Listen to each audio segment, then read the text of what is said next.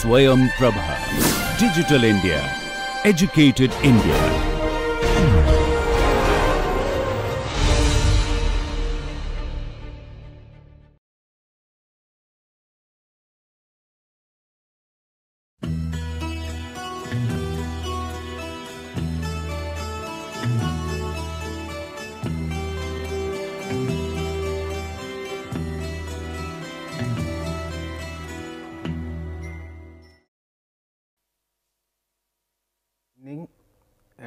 To NPTEL project on econometric modeling. This is Rudra Pradhan here. Today we will discuss the concept of univariate econometric modeling. First of all, what is univariate econometric modeling?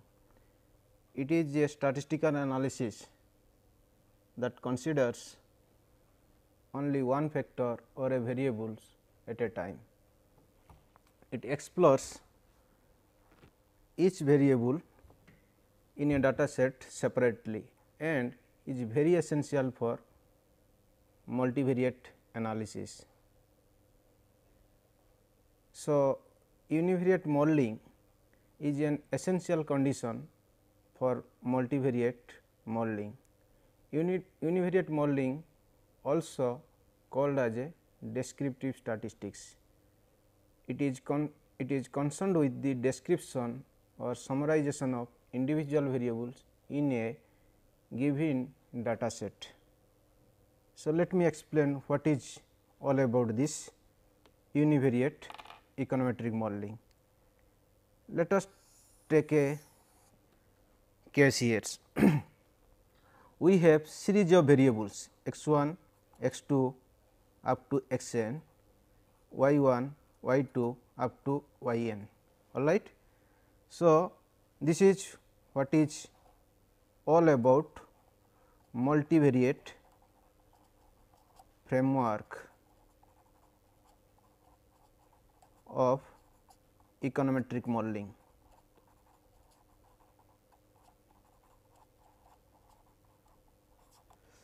So, here we are very much concerned about the statistical analysis of a particular variable or series of variable and their interrelationships. So, if we go through this multivariate framework of econometric modeling, then usually we have two different sets of variables. Okay. One set of variables is called as a x 1, x 2 up to x n and another set of variables are called as a y 1, y 2 up to y n. Okay. This particular series called as a independent variable clusters, independent variable variable cluster and this particular series y 1, y 2, y n is called as a dependent variable clusters.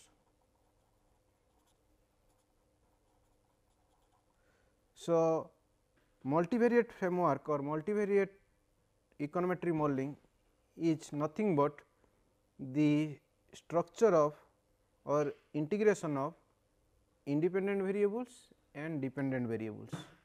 So, it is the game between independent variable and dependent variable otherwise it is also called as a endogenous variables and exogenous variables. There are two different situation altogether. Okay. Situation 1 one dependent one dependent variables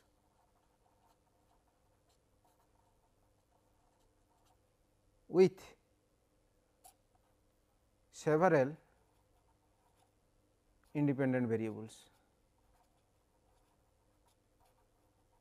So, the situation 1 is one, independ, one dependent variable with the several independent variables.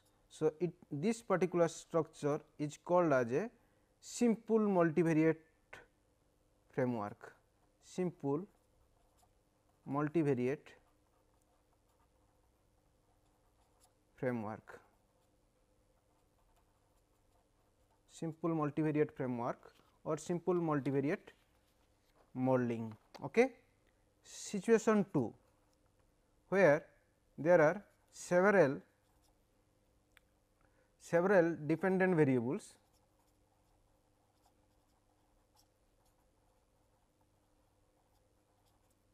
plus several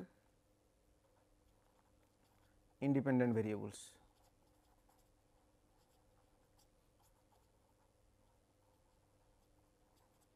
So, this particular structure is called as a simultaneous equation modeling or or and structural equation modeling. Okay? Structural equation modeling. So, we have two different games so as a real world problem is concerned. So, one side we have one dependent variable with several independent variables. In other situation we have series of dependent variables and series of independent variables. So, now let me take a case here. So, this is independent clusters this is dependent clusters. Okay. So, we have independent clusters will represent x 1, x 2, x 3, x 4 like x n all right.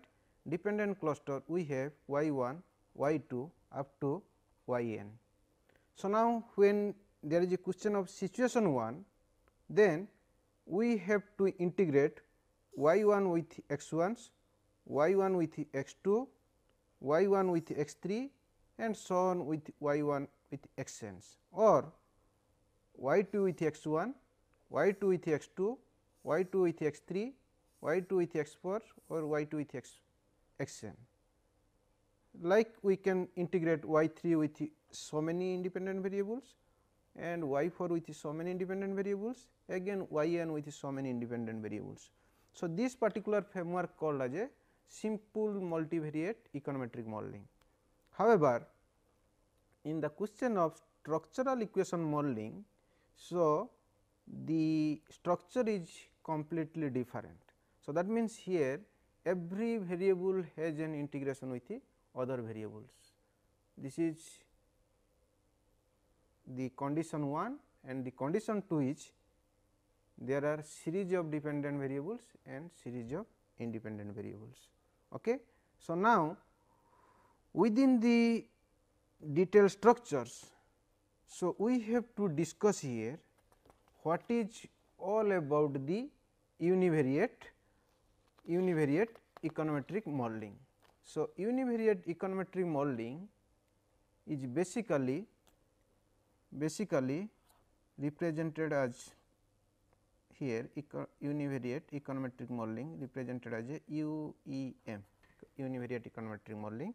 So, let me first highlight here what is the entire structure of this univariate modeling. Okay. So, the basic objective behind univariate modeling is that we have to describe or you have to summarize a particular variable in a given setup. Okay. If the setup consists of say 10 variables, we have to we have to analyze with a particular variable only. For instance, if we have x 1, x 2, x 3 up to x 10, then we like to know what is the features of x 1, what is the features of x 2, what is the future of x 3 and up to what is the future of x 10, because it is the prime requirement of multivariate econometric modeling. Until unless you know all the structure and setup of univariate data setup, then you cannot go anything or you cannot get a better solutions. So, univariate econometric modeling deals with three issues. One is called as a central tendency,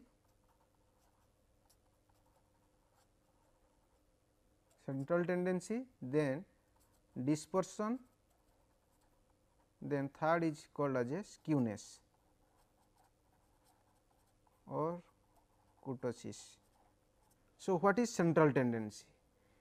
It is the single figure which describes the entire setup. So, the central tendency will give you indication about single figures. Okay. So, like this there are set of observation here. So, we have to target which particular observation is very important which can describe the entire issue. Okay. The uh, dispersion is within this setup again. So, it represents the variability of the observation in a particular variables. So, let us say this is this is variable say x 1s. So, now these points are represented as x 1 1, x 1 2, x 1 3 up to say x 1 n all right. These are the uh, data points with a particular uh, variables. So, now which particular variable is the central or you can say center that describes the complete information within the structure or within that particular variables. So, now let us say this is a center here. Let us let us call it a is a unit which represents the entire structure of this particular variable. So, now dispersion is the variability of the observation in a particular variable. So, now if it is x 6, so now we are very much concerned about how the x 6 co component is different from x 3 a, a, a x 1 1 x 1 2 x 3 1, 1 3 like this. Okay. So, we have to see whether this is equally distributed or unequally distributed and that objective is the framework of dispersion. Now, the skewness issue is the uh, the general shape of the distributions. So, far as the distribution is concerned, we have series of distribution like theoretical distribution, under theoretical distribution we have probability distribution, Poisson distribution, normal distribution, hyperprobability distributions and so on. But uh, for econometric modeling or basically statistical modeling, so the model will be best fitted or we can we can use that model or we can fit that model for better way your data points should be normally distributed. So, that means, we are very much interested whether the setup is normally distributed or not. So, that means, we are very much interested to integrate the structure into normal distribution shape. So, that shape of the distribution is our concern and that is nothing but the skewness skewness component. So far as kurtosis is concerned, it is the flatness of the distribution. Again, it is within the setup of normal distribution. Okay. So, now uh, we have three different structure of univariate modeling. So, one structure is central tendency, another structure is dispersion and another structure is skewness. The objective is to find out the single figure which describes the entire issue. The second issue is dispersion, how all other items are distance from other data points. Okay. So, this is what the dispersion objective and skewness is the shape of the distribution and kurtosis is the flatness of the distributions. So, now within the basic background or information about univariate setup. So, we like to know how this setup can be evaluated, can be interpreted and can be used further for uh, uh, multivariate econometric modeling. Let me first give you the framework of univariate econometric modeling. So, univariate econometric modeling as I have already mentioned it has three different structure altogether central tendency, then dispersions, then it is a skewness and kurtosis. Okay. Under central tendency we have three different set uh, uh, we have altogether three different set setup. Okay. This is called as a mean setup, this is median setup, then this is mode setup. So, we have three different statistical tool under central tendency. Okay. So, this me median and mode is called as a positional average it is called as a positional average. Mean is called as a mathematical average.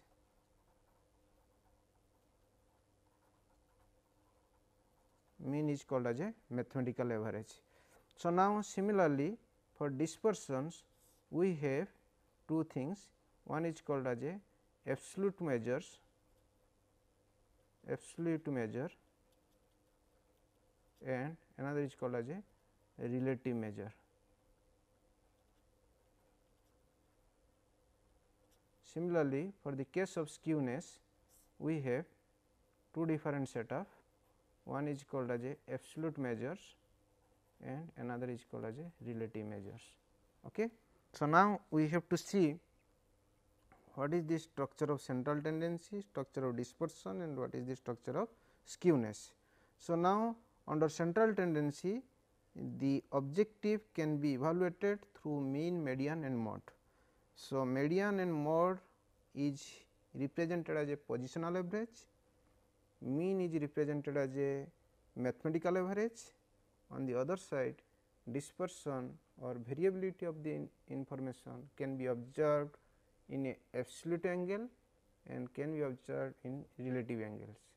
Similarly, for skewness and kurtosis we can have the absolute issue and also relative issue.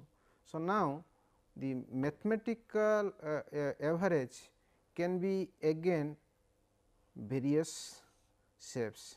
Okay.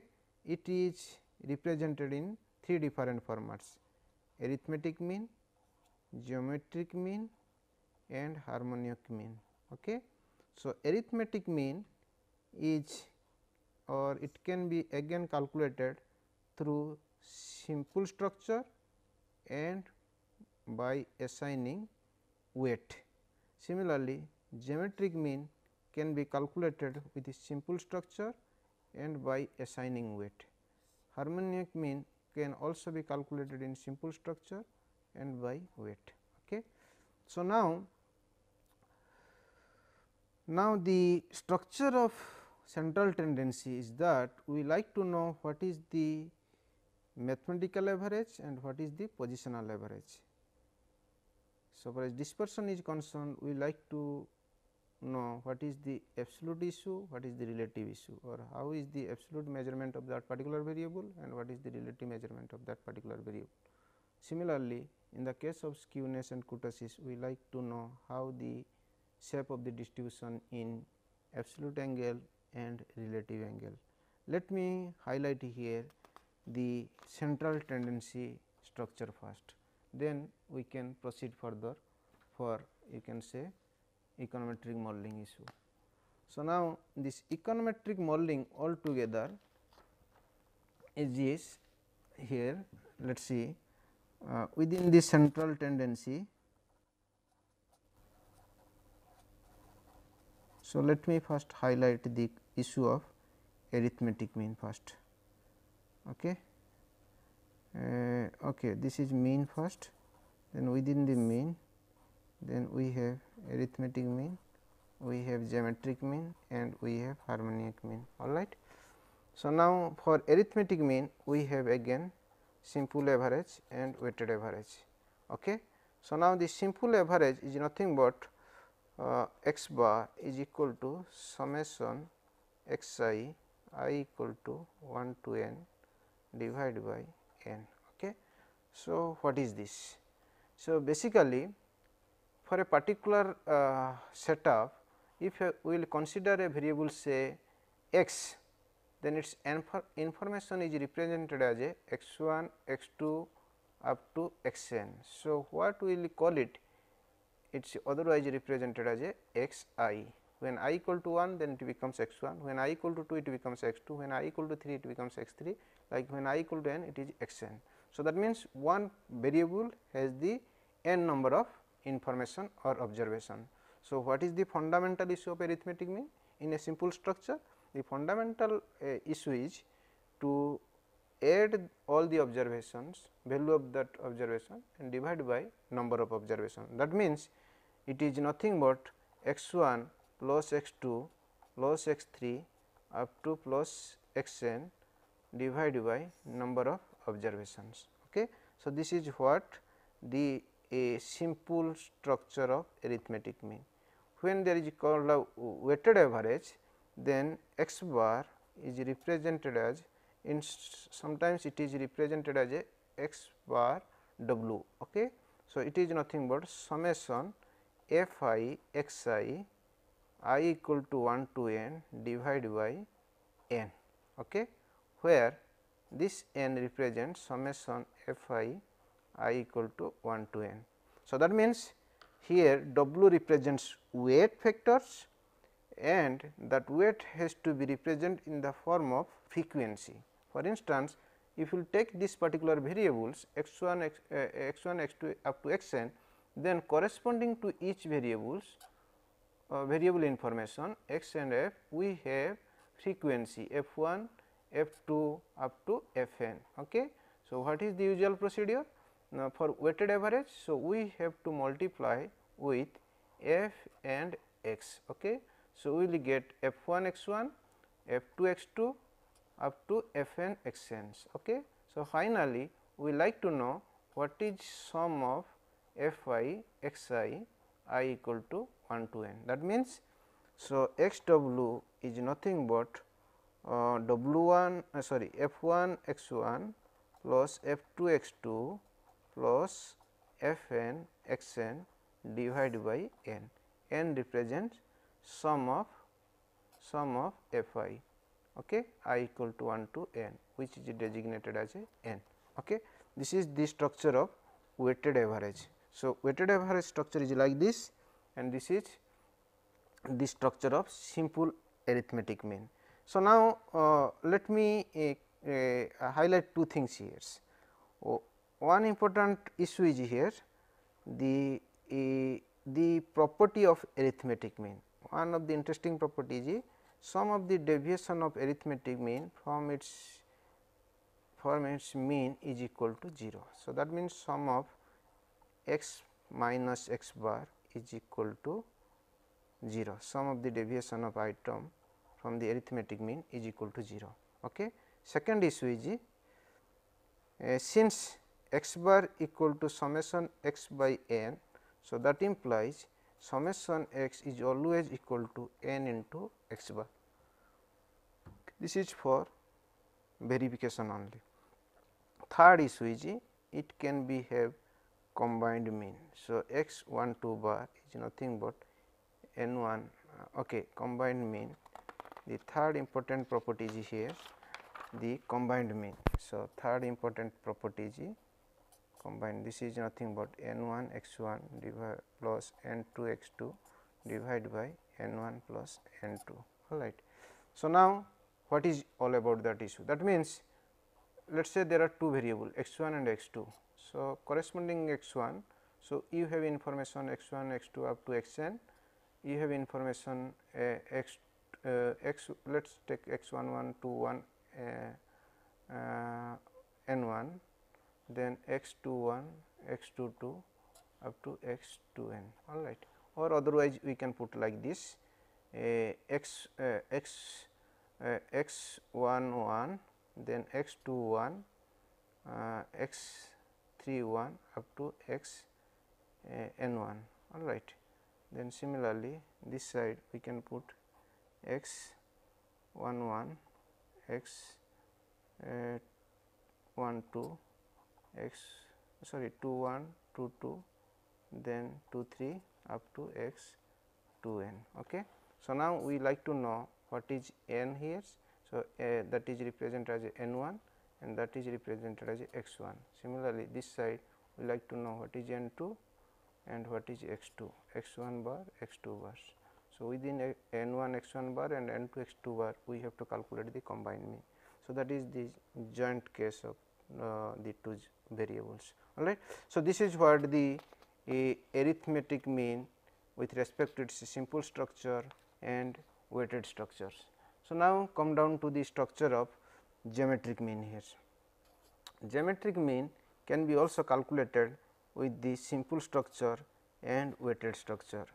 So, now uh, for a series of variables say x, x 1, x 2 up to x n, then geometric mean usually uh, usually denoted as small g is nothing but x 1 multiplied by x 2 multiplied by x n to the power 1 by n.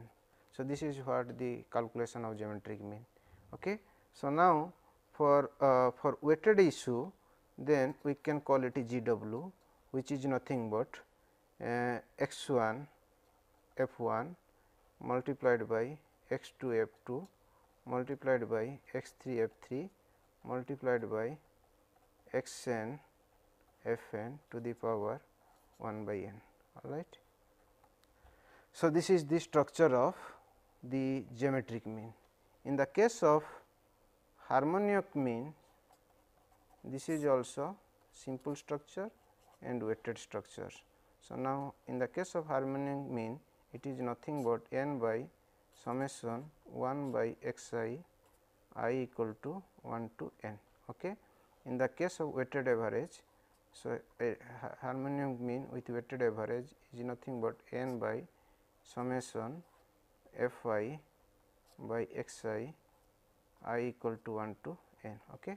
So, now, so we get to know what is the setup of mathematical average that is arithmetic mean, geometric mean and harmonic means. Again that is with respect to simple structure and weighted structure. So, now within within this basic setup within the basic setup of this uh, mathematical average then you will come down to the positional average. This positional average is with respect to first is the median case first is with respect to median case. So, what is this median? Median is nothing but uh, uh, or you can say middle value of the sequence. So, that means once you have a series of observation, the objective of median is you have to find out a particular variable or value which can divide the observation into two equal parts. Okay. 50 percent uh, means 50 percent above and 50 percent below. So, that means, so uh, median can be calculated in a simple structure, it can be calculated in simple structure. Under simple structures, the framework is like this n by 2 provided if n is n is even, n represents number of observation in the setup. Okay. So, now when n plus 1 by 2 when or if n is odd. Okay. So, this is what the the simple structure of median calculation. So, now uh, you remember this median is a positional average. So, now the n by 2 and n plus 1 by 2 will give you the position to describe the uh, issue. So, now uh, for reality or you can say complex problem the value of median will be calculated like this L plus n by 2 minus C f by f into i. A L represents lower limit of the class, n represents number of observations in the system, C f represents cumulative frequency cumulative frequency of the preceding preceding median class. F represents class frequency class frequency of median class. Okay. Then I represents class interval class interval. Okay. So, now for uh, you know whether it is the mean issue, median issue or mode issue, there are two different ways we have to calculate. One is simple setup, another is called as a discrete or continuous setup. When there is the structure is a very simple structure, then we have to just use the positional issue or you can say simple issue like summation x i by n or n by 2 by or n plus 1 by 2. But when the structure is all about the issue of descriptive series or continuous series, then the calculation procedure is somewhat different. So, now median structure is here uh, L plus n by 2 minus C f by f into i. Okay. So, I will give you detailed example how we have to calculate or how you have to use this particular formula when the problem is something different and you have to apply this particular formula when the problem is something else.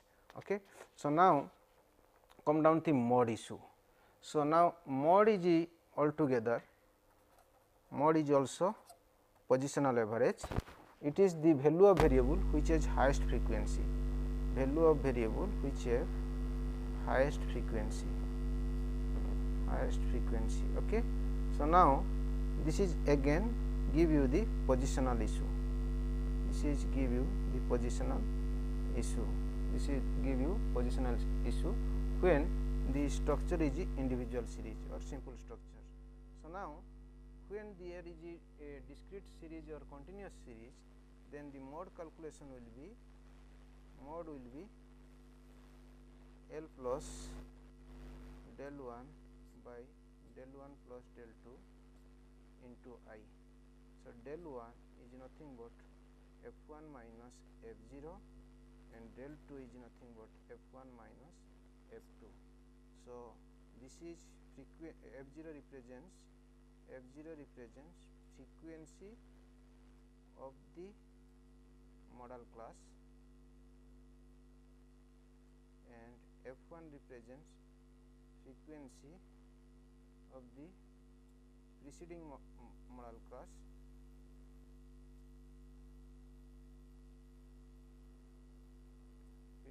uh, preceding model class and f 2 represents uh, frequency of frequency of the following model class. Following model class. Okay? So now i represents class interval. So i represents here class interval. Okay? I represents class intervals. So now let me take a case here so how do you calculate all these issues?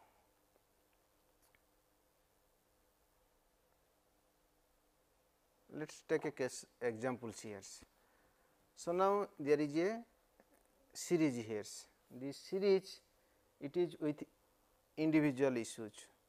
So, now the examples which we have cited here we have series of information 52, 76, 100, 136, 186, 196, 205, 150, 257 like this we have to proceed proceed then we have 791 and 891. So, now our objective is to know what is the mean value here, what is the median value here and what is the mode value here. So, far as a mean is concerned we like to know what is the value of these observations and what is the number of observations. So, now for simple arithmetic mean we have to just add all these items divide by number of observations. So, number of observation you have to find out what are the number of observation here. So, now uh, uh, if you follow that procedure you can have the mean value. Sim similarly, for the median issue, so for uh, the procedure of median calculation is that we have to first arrange these items in ascending and descending. So, now the moment if uh, the moment you arrange it ascending and descending then you have to apply the positional issue. So, that means if the series is even then you have to apply n by 2 if the series is odd then you have to apply n plus 1 by 2. So, this will give you indication what is the median of that particular series. So, the way you will calculate that median then 50 percent observation will be above and 50 percent observation will be below. So, now similarly in the case of mode, so we have to first arrange the items in sequence then you have to see what is the frequency of each items. So, now mode will be the value of that particular series depends upon the highest frequency. So, with the basis of high, highest frequency you have to calculate the mode. For instance, let us take a case of 150. So, 150 item we, we have to find out where whether it is available in other place. So, now if it is available in other place we have to see how many times. Okay. Similarly, take a case of 196 that means, what is the best procedure is that like this the best procedure is that you have to see here uh, uh, take a case of items. So, now the, these are all items then its corresponding frequency okay, frequency. So, now you check it here 52 all right let us take a case of 52. So, now uh, again 76 then 100 then 136 then 186 196 20 uh, 205 then 150 then 257 then 264 then 264 so now if we compare here 76 here uh, sorry 52 this is 1 76 1 100 1 136 1 186 1 196 1 205 1 151 257 1 264 1 so since it's uh, uh, again 264 so instead of writing here you put it in mark here. Okay so now instead of 264 you put it here 280 okay so, now you have to see how many 280s are there. If it is 1 here, then if it is again 280, you put mark here. If again 280, you put mark here. Then finally, you have to observe how many frequencies are there. Let us say 250, 280 is there. So, this is available in 3 times. So, its frequency is nothing but 3. Here the frequency is nothing but 2. This is 1, this is 1, this is 1, this is 1, this is 1, this is 1, this is 1, this is 1, this is 1. So, now there may be other series also there may be other series also, but within the particular setup. So, we can call it this is the model class because the it is the highest frequency in the particular series. So, this way we have to calculate the calculate the value of uh, mod. Okay. So, now we have to proceed further for uh, uh, other other uh, other issue of this a particular uh, univariate econometric modeling. Okay. So, now univariate econometric modeling we have the set of central tendency, dispersions and skewness. Okay. So, central tendency we have already discussed what is the structure and how is, is it, how is its set up. So, now so far as dispersion is concerned we have two different structures one is called as a absolute absolute absolute absolute structures and another is called as a relative structure. So, that means absolute measure of dispersion absolute measure of dispersion and relative measure of dispersion. Under absolute measure of dispersion we have series of techniques we have series of techniques range quartile deviations then mean deviations, then standard deviations. Okay. And under relative measure of dispersions, we have three different techniques called as a coefficient of variations, coefficients of quartile deviation, coefficients of mean deviations. Okay. Coefficients of um, coefficient variation, coefficient quartile deviation, coefficient of mean deviation. So, now I will explain what is all about all about these components. Let us start with range. How do you calculate this range? Okay. Range is the difference between a max maximum of the series and minimum of the series. Okay. In this particular uh, in this particular example, in this particular example, if you like to know what is the range, then you have to see what is the highest number of this particular series then what is the lowest RAM, uh, uh, lowest value of that particular series then the difference will give you range. Uh, in econometric modeling if the range value is very high then obviously it is the negative aspects of econometric modeling. So, the econometric modeling will be better or you can get better fitted model if your descriptive information or univariate information is very accurate. For instance, for this particular issue range if the range is very minimum that means it, it automatically give you the spreadness of that particular variables. If the range is very small then obviously the dispersion is very low. So, that means the variability of that particular variable is you can say a, a low. So, it will be better indication for further econometric modeling. So, similarly, come down to quartile deviation. So, quartile deviations is nothing but the difference between q 3 minus q 1 by 2. So, third quartile minus first quartile divided by 2. What is third quartile? So, third quartile we have we have to get by L plus 3 n by 4 minus C f by uh, C f by a f into i okay. and q 1 equal to L plus n by 4 minus C f by f into i. We have already discussed what is C f. This is a cumulative frequency of the preceding median class and uh, uh, f represents frequency of the median class, i represents class interval, L represents lower limit of the series, q 3 represents third quartile and q 1 represents first quartile. So, so far as quartile deviation is concerned, so it is calculated with the difference of third quartile minus first quartile by 2. Okay. So, now come down to mean deviations. So, mean deviation is nothing but 1 by n summation x i minus x bar. Okay. It is in deviation format. So, the speciality of this uh, component is that it is the it ignores usually sign. So, the moment you will take deviation then the minus component will be plus component. So, as a result it may be a, a better uh, for you can say calculation, but it has also limitation because the negative signs are ignoring. So, now this is what the procedure of mean deviation. Uh, if there is a frequency then obviously you have to add frequency here then accordingly you have to calculate the mean deviation. Okay. So, now uh, come down to uh, standard deviation. Standard deviation is nothing but summation x i minus minus x bar whole square i equal to 1 to n to the power 0.5.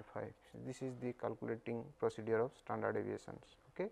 So, now you get to know what is range, what is quartile deviation, what is mean deviation, what is standard deviation. And uh, I am just explaining the uh, simple structure that is with respect to individual series. So, when the series is continuous and discrete, then obviously the calculating procedure of all these components starting from central tendency to dispersion is completely different.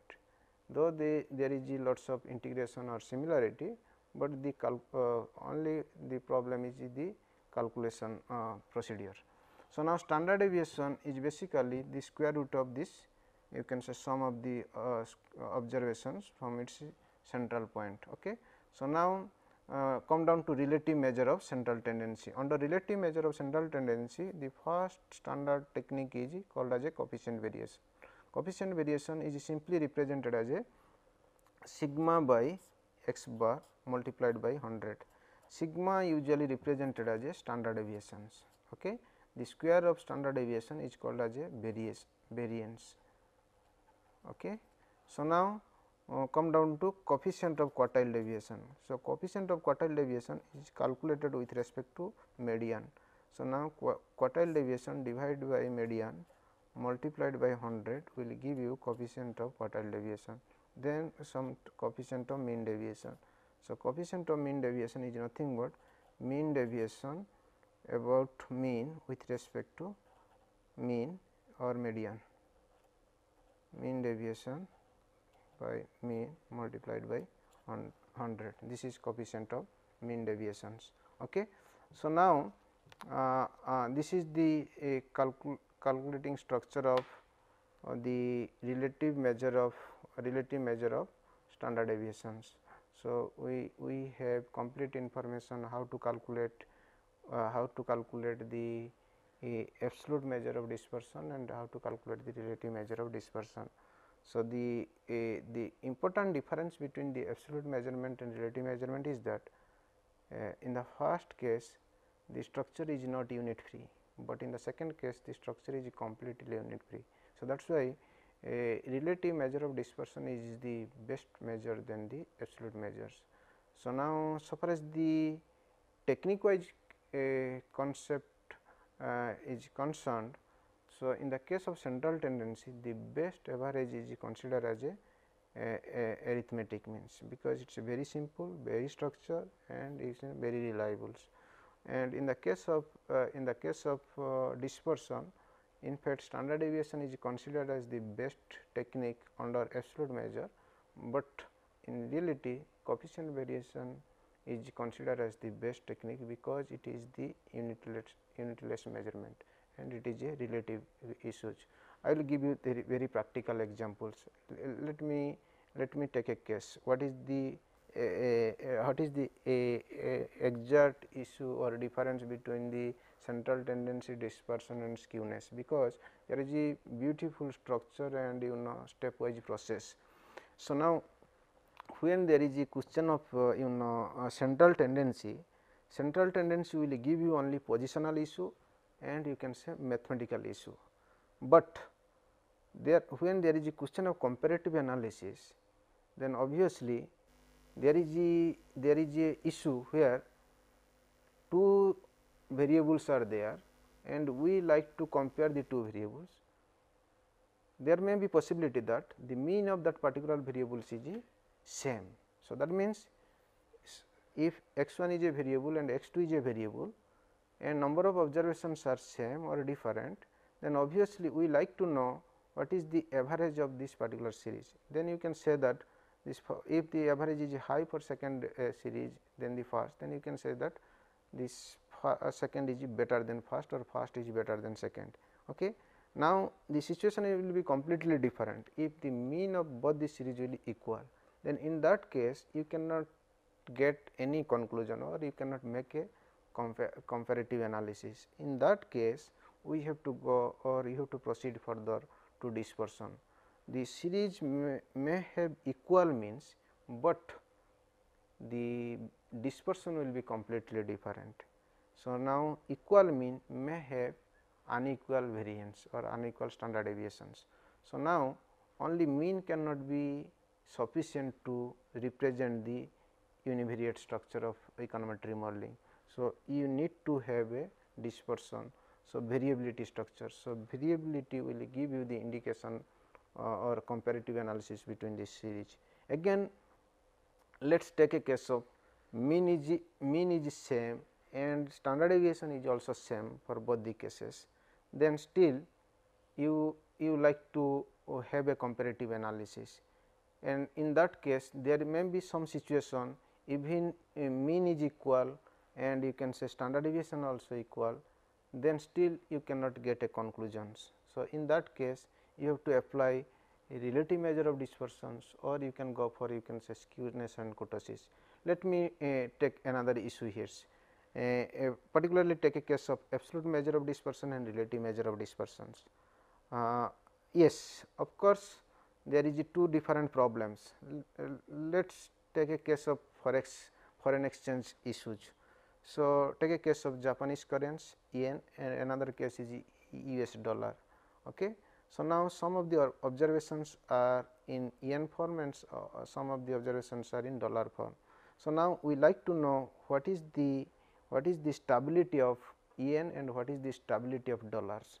So, now to know the stability of dollar and yen you need to have apply uh, the standard technique called as a uh, dispersion. So, the the tech, the component stability component will be more stable if the variations or variability is very less. Okay.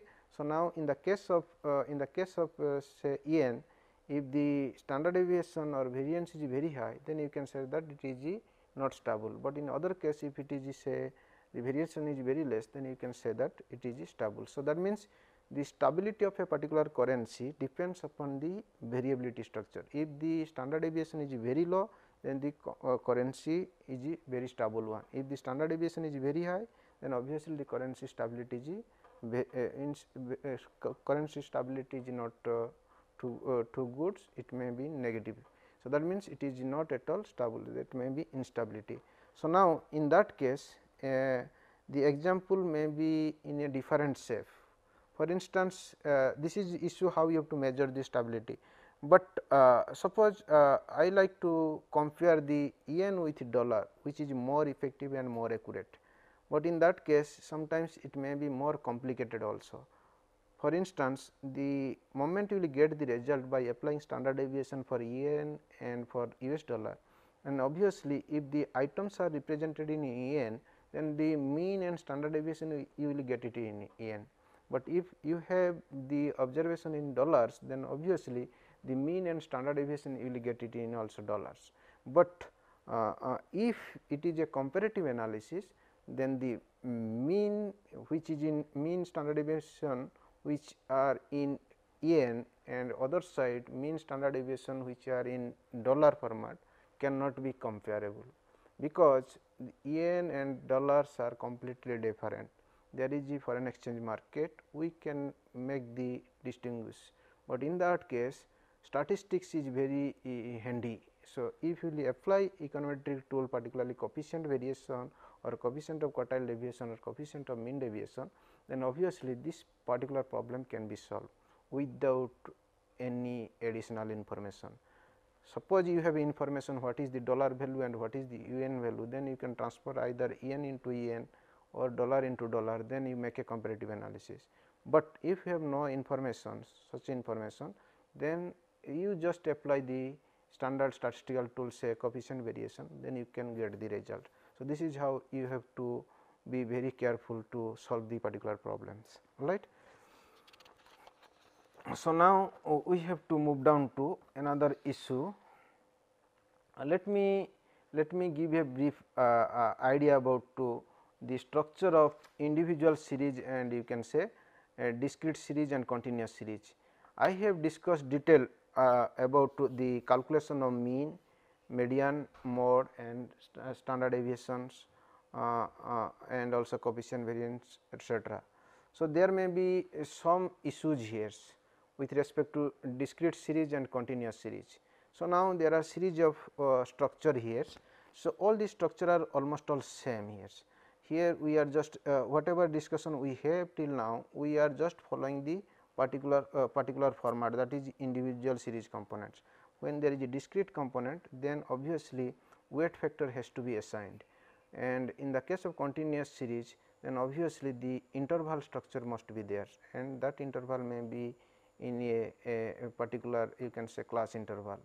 So, with that class interval and you can say proper structure we have we have to calculate the mean and you can say uh, standard deviation or coefficient variation in different way. The complete calculating procedure is uh, altogether different, but the result is almost all same. Uh, uh, in the uh, the detailed structure of calculation I may highlight in different uh, class because it is not possible now to take example to solve. So, uh, we will discuss in next class the detail about when we will go for bivariate modeling that time I will explain how it can be possible when the series is in completely a discrete series and continuous series. So, now I will explain one thing here uh, that is the uh, one other aspects of this particular problem that is skewness and uh, uh, uh kurtosis. The skewness issue is nothing but shape of the uh, shape of the distributions. So, that is we like to know what is the position of this particular series. So, we usually look for normal distributions. Normal distribution if it is normally distributed then obviously, the distribution is called as a symmetric distribution where mean median mode are equal. If mean median mode are not equal then this distribution is called as a skewed distribution. It may be negatively skewed, it may be positively skewed. Okay. So, now, so we need to have you can say uh, the structure like this. This is symmetrical 0 skew and when there is a positive negative skewed then it is called as skewed distribution. Generally we look for this uh, this structure of data setup. If you have a data setup like this then obviously it is called as a symmetrical distribution and that is very very effective for modeling or particularly multivariate modeling. If all these variable information is like this then obviously you are in the right track. If not then obviously your structure is completely different.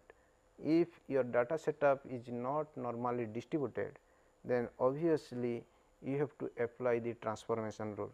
we have series of transformation rule starting from exponential transformation, logarithm transformation and fast difference transformations. So, the way you will transport the data automatically the series can be transferred into normal normally distributed. So, this is very important point to. So, this is another shape of the normal distribution. So, now this is positive positive skewed distributions and this is what negative skewed distributions and this is the um, this is the case for both the distribution altogether right. So, now uh, last but not the least component under univariate modeling is the kurtosis. It represents simply the flatness of the distributions. There are three different structures. It is the uh, you take it here case is the this is one shape, this is another shape, this is another shape. So, this particular shape is called as a thin structure this particular shape is called as a flat structure and this is what is the middle between this thin and flat.